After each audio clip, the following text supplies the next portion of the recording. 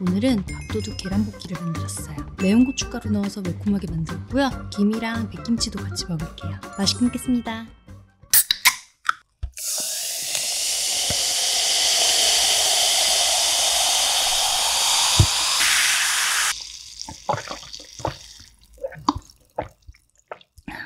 황금알도 있어요.